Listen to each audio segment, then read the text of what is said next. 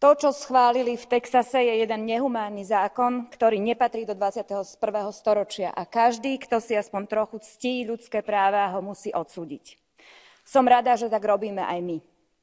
Pozrime sa ale, čo sa deje priamo nám pod nosom a už zďaleka nie len v Poľsku. Ultrakonzervatívne strany a politickí populisti si na nenávisti k LGBT a na diktáte ženským materniciam naháňajú vlastné politické preferencie. Na Slovensku práve poslanci posunuli do druhého čítania zákon, ktorý má výrazne skomplikovať ženám prístup k interrupciám.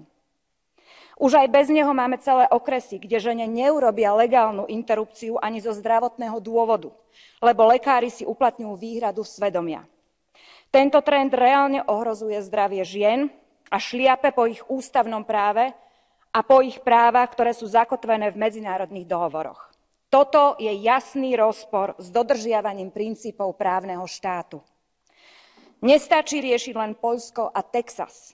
Musíme zastaviť toto ultrakonzervatívne šialenstvo a hon na práva žien, ktoré pomaly zachvacujú aj modernú Európu. Ďakujem.